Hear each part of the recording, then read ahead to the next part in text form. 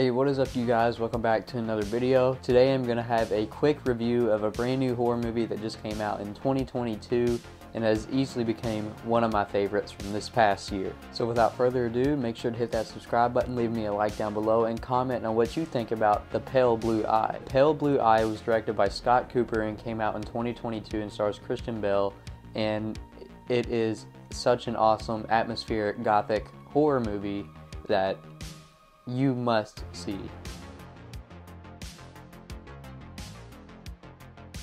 The story follows Christian Bale, who plays a detective and investigates a murder at the famous West Point Academy, the military academy, of course.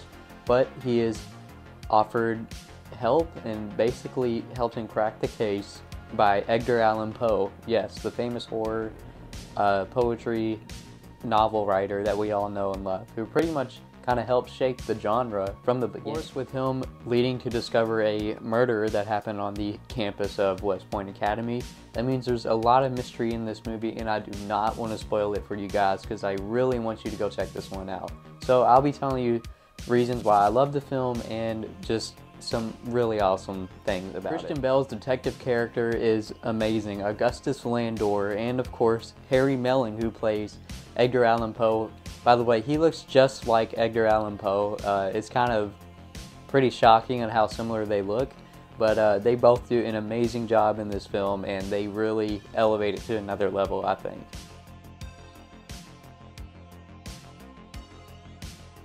And quite honestly, this is probably one of my favorite Christian Bale performances of all time, and you know, he's an amazing actor.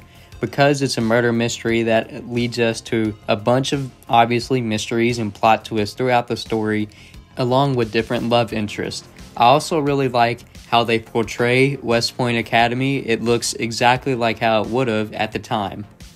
Now, as I've mentioned before, it is very macabre, very dark, very eerie, very suspenseful, and it keeps you on the edge of your seat the entire time while you're watching it. At least for me, it did. Now, the supporting actors are great. I really love the scenery and how this entire movie was shot. So, props to Scott Cooper for doing an amazing job. And, like I said, there are also some occult and you know, devilish things about the movie that we learn as well, which really adds to the factor of why it's so good. As we become closer to cracking the case from Christian Bale and the help of Edgar Allan Poe, they establish a really cool relationship that I was not expecting, but it turned out very cool. Edgar Allan Poe does a great job at helping Augustus Landor in cracking down this case, and their relationship that they form is really cool as well.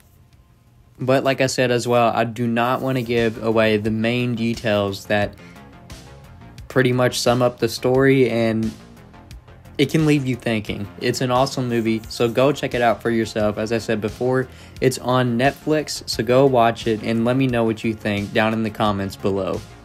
Now, since The Pale Blue Eye came out late into 2022, uh, late December to be exact, many people may not have seen this or even include it in their top 10 horror movies from 2022, but for me personally, it is great and it definitely makes my list. But as always, thank you guys so much for watching this new review of The Pale Blue Eye and let me know what movies you want to see me review next. I really appreciate you guys' support and let me know what videos you want to see next overall. So, yeah, thank you all for watching. I'll catch you in the next one.